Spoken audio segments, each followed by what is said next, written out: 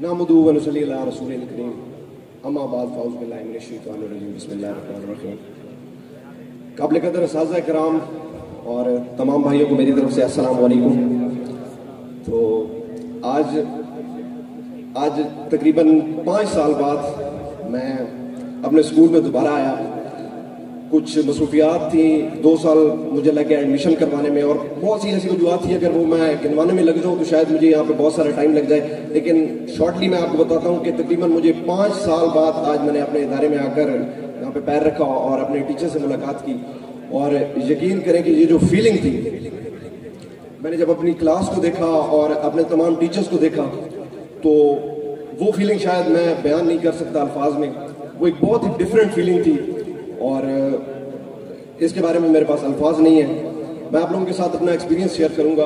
मैं मेरा नाम सफुल्ला खान नैजी है और मैं दारकम स्कूल का 2019 के बैच का स्टूडेंट हूँ। और मेरे मोहतरम भाई पहले अपने एक्सपीरियंसेस शेयर करके गए।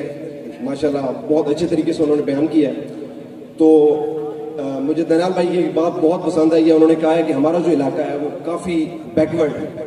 और हमारे पास नॉलेज नहीं है कि हमने फ्यूचर में जाके क्या प्लानिंग्स करनी है, हमने कैसे ट्रबल्स को टैकल करना है। तो हमें इन चीज़ों के बारे में कोई भी नॉलेज नहीं होता और हम मतलब इन चीज़ों को टैकल नहीं कर पाते और बहुत से बच्चे जो होते हैं वो आगे जाके फेलियर का शिकार हो जाते हैं। तो मैं जिस इलाके से ताल्लुक़ रखता हूँ, वो बैकवर्ड उसके लिए एक छोटा लफ्ज़ है। तो आप में से शायद बहुत से लोग जानते भी होंगे क्योंकि आप यहीं पर रहते हैं। मेरा ताल्लुक गोरेवाली से है। और जब मैं इधर स्कूल में जैर तालीम था तो हमारे काफ़ी मसाइल होते थे। और मेरा रोज़ाना लेट आना और सर फैसा साहब का रोज़ाना मुझसे पूछना कि बेटा क्या मसला है? और मेरा हर दफ़ा यही जवाब पेश करना कि सर मोटरसाइकिल का टायर पंचर बहुत ही खूबसूरत लम्हात थे। और हमारे काफ़ी मतलब हमारे इलाके में जो लोग हैं, वो बहुत ज़्यादा जज्बाती हैं। अच्छे भी हैं, लेकिन जज्बाती बहुत ज़्यादा है और हमारे इलाके में अक्सर हमें मुश्किल का सामना होता है। तो मैं भी उसी इलाके से हूँ और मुझे भी उन तमाम मुश्किल का सामना था। तो मैं काफ़ी दिन मतलब मेरी ज़िंदगी में एक टाइम आया कि मैं काफ़ी दिन स्कूल नहीं आ पाया।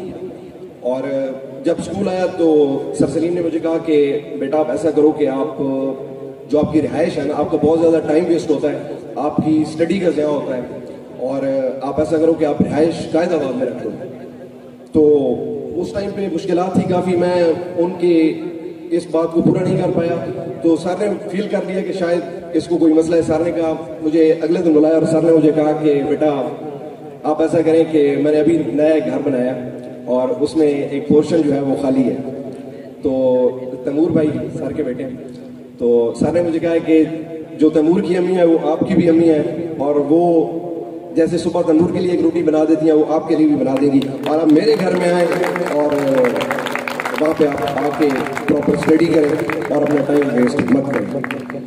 तो एजोटॉप की जो सबसे, जो काबिल कदर बात जो मैं समझता हूँ वो ये है कि एजोटॉप मेक लीडर्स हमारे टाइम का दरकम था तो अभी एजुटॉप है तो मैं इस वजह से एजुटॉप के नाम से मुखातिब करना चाहूँगा कि एजुटॉप मेक लीडर्स मैं जितने भी हमारे जूनियर्स भाई बैठे हैं, मैं अभी आप लोगों को जितना भी समझा लूँ, आप लोगों को जितना भी कह लूँ कि यूनिवर्सिटी लाइफ में आगे कॉलेज लाइफ में आपको क्या क्या मुश्किल पेश आने वाली हैं तो आप उस चीज़ को सीरियस नहीं लोगे। हमारे बहुत ही प्यारे सर सर, सलमान शाह साहब हमें कहते थे, बेटा यूनिवर्सिटी में ये होगा, वो होगा। तो हम कहते थे, सर, देखा जाएगा। फिर जब हम यूनिवर्सिटी में गए, हमें सेम वही मुश्किल पेश आई और हमने वो तमाम मसाइल देखे और फिर हमें वो सलमान शाह साहब की तमाम वो बातें याद आती थी।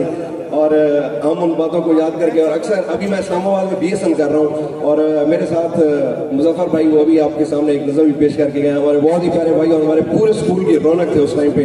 हमारे एक बहुत ही प्यारे भाई तो इनके साथ अक्सर मुलाकात होती रहती है और हम उधर गैदरिंग करते हैं और हम अपने तमाम टीचर्स की वो बातें याद करके हैरान होते हैं मतलब सैड भी होते हैं और फिर खुश भी होते हैं कि क्या कमाल के टीचर्स मिले थे हम, हमें। और बहुत ही प्यारे टीचर्स और मैं अक्सर जो था मतलब अपने टाइम पे टीचर्स को थोड़ा मिमिक भी करता था। हमारे गौस रहमान साहब जो थे, वो हमारे टाइम पे हमारे बहुत ही प्यारे टीचर थे, बहुत ही प्यारे टीचर तो अगर हम उनसे कोई क्वेश्चन करते थे ना तो वो कहते थे, बेटा, ये क्वेश्चन आपको मुश्किल लग रहा है। ये क्वेश्चन आपको मुश्किल लग रहा है। ये आपको यूँ समझ आएगा यूँ। ये उनकी चुटकी जो स्टाइल था, वो मुझे अभी तक याद है। और ये बहुत ही प्यारा स्टाइल था sir thank you so much sir और उसके बाद सर फैजान साहब बहुत ही प्यारे टीचर बहुत ही अच्छे इंसान। सर के साथ हमारा कॉलेज में भी एक, बहुत ही प्यारा ताल्लुक रहा। और हमारे डिसिप्लिन इंचार्ज थे, थोड़े से सख्त थे, लेकिन बहुत ही प्यारा सफ़र रहा उनके साथ। सर राशिद साहब हमारे टाइम पे हमें बायो पढ़ाते थे। और उनके तमाम कॉन्सेप्ट उनकी स्टडीज़ देवर एब्सोल्युटली अमेजिंग और बहुत ही मज़ा आया उनके साथ। और इसके साथ साथ मैं दनाल भाई ने जो ज़िक्र किया कि हमें अपॉर्चुनिटीज़ के बारे में पता नहीं होता, कि डॉक्टर और इंजीनियर्स ये दो प्रोफेशन हमने अपने ईमान का हिस्सा बना लिया कि ये दो प्रोफेशन हैं। इनके अलावा और कोई प्रोफेशन नहीं है। मैंने खुद जब मैट्रिक किया था तो मैं, जब मैट्रिक में, मुझे अभी भी याद है, मैं उस कैंपस में सर का ऑफ़िस होता था, सर सलीम साहब का तो सर सलीम ने मुझे कहा था कि बेटा, मुझे यकीन है कि आप तहसील में तो टॉप कर जाओगे। लेकिन मैं चाहता हूँ कि आप अपने आप को इस तरह तैयार करो कि आप डिस्ट्रिक्ट लेवल पे कॉम्पीट करो और आगे जाओ। वो अलहदा बात है कि जो रिज़ल्ट आया, वो थोड़ा सा डिसअपॉइंटिंग था। तो इस वजह से मैं रिज़ल्ट को बाद में फेस भी नहीं करवाया, मुझे बहुत ज़्यादा। लेकिन इस चीज़ की कदर मुझे बाद में हुई कि सर ने हमें कॉन्फिडेंस दिया। फ्राइडे के दिन जो अक्सर एक दिन मुख्त होता था जो कलर डे होता था, उसमें हम डिफरेंट एक्टिविटीज़ परफॉर्म करते थे। This day was absolutely amazing और इस दिन में हमें बहुत कुछ सीखने को मिलता था। हम स्पीचेस यहाँ पे प्रेजेंट करते थे और जैसे सिराज भाई ने कहा कि हम यूनिवर्सिटी में जब हम गए तो हमारा जो कॉन्फिडेंस लेवल था, वो ऑलरेडी इतना बूस्टअप हो चुका था कि हमें कोई मुश्किल पेश नहीं है और इसके बाद ऑलमोस्ट एक और बात लास्ट में जो मैं आप लोगों को कहना चाहूँगा। आप जितने भी जूनियर्स हैं, ये वाली जो मेरी लास्ट एडवाइस है, ये आप लोगों के लिए है और मैं मैं आप लोगों को कहता हूँ कि आप काइंडली इसको गौर से सुने। हमारे जितने भी लोग होते हैं, सब फाइनेंशियली स्ट्रांग नहीं होते।